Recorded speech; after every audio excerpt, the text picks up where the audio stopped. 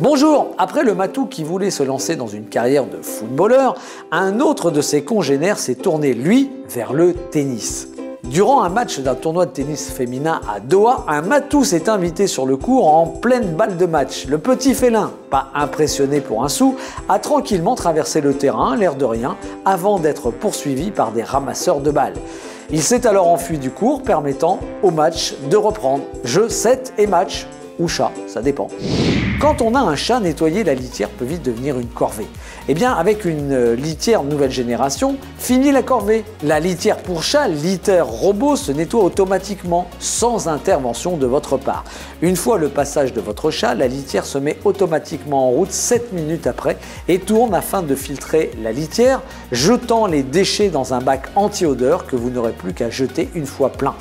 Cette litière automatique fonctionne avec n'importe quelle litière agglomérante et vous fera faire de sacrées économies.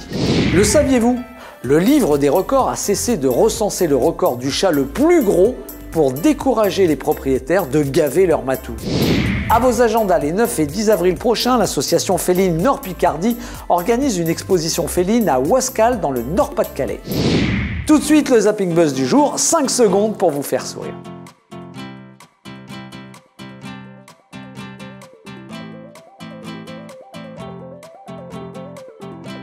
Partagez la Minute Chat sur vos réseaux sociaux et surtout abonnez-vous gratuitement à wamis.tv pour ne manquer aucune de nos nouvelles vidéos.